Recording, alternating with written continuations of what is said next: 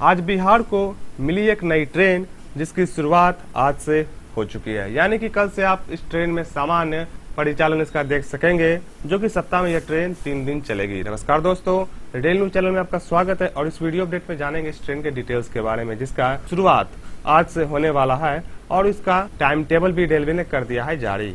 इसके साथ ही यह ट्रेन को आज हरी झंडी दिखाई जाएगी, जिसमें कि अश्विनी वैष्णव इस ट्रेन को वीडियो कॉन्फ्रेंसिंग के माध्यम से ट्रेन को रवाना करेंगे। यह ट्रेन है Godda Ranchi intercity special train, जिसकी शुरुआत भले ही गोड्डा से हो रही हो, लेकिन यह ट्रेन बिहार के बड़े बड़े रेलवे स्टेशन होते हुए चलेगी और बिहार के यात्रियों के लिए इस ट्रेन का एक बड़ा तोहफा भी मिल चुका है, क्योंकि बिहार में और बिहार होकर चलने वाली इस ट्रेन में कई सारी सुविधाएँ रहेगी और ये डायरेक्ट ट्रेन कनेक्ट करेगी बाका गोड्डा, भागलपुर, मुंगेर, धनबाद, रांची और बोकारो को एक दूसरे से। ऐसे में इस ट्रेन की शुरुआत आज से होने वाली है, जिसका पूरा सुविधा पैसेंजर को मिलने वाला है। इस ट्रेन में बुकिंग कल से होगी शुरू और आज इस ट्रेन को हरी झंडी दिखाकर रवाना किया जाएगा।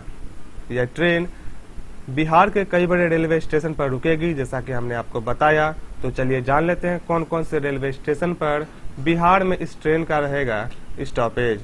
गोड्डा से खुलने के बाद यह ट्रेन पौड़ैया हाट, हसडीहा, मंदार हिल बाड़ाहाट भागलपुर, सुल्तानगंज, जमालपुर क्यूल जमुई, झाझा में इसका स्टॉपेज रहेगा। इसके बाद यह ट्रेन झारखंड के जेसीडी, मधुपुर, धनबाद, बोकारो, मुड़ी और रांची में इसका स्टॉपेज दिया गया है।